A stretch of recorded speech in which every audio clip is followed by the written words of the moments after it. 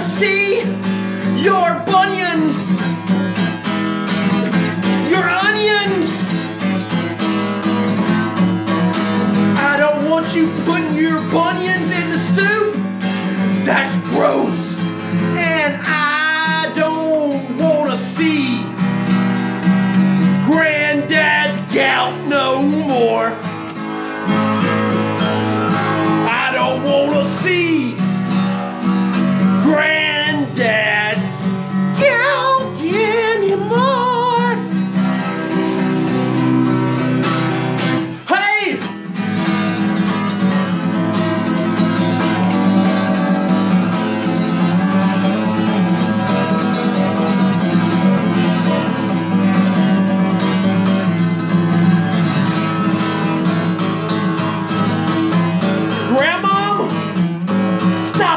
the gout and the hemorrhoids. Stop it with the pain.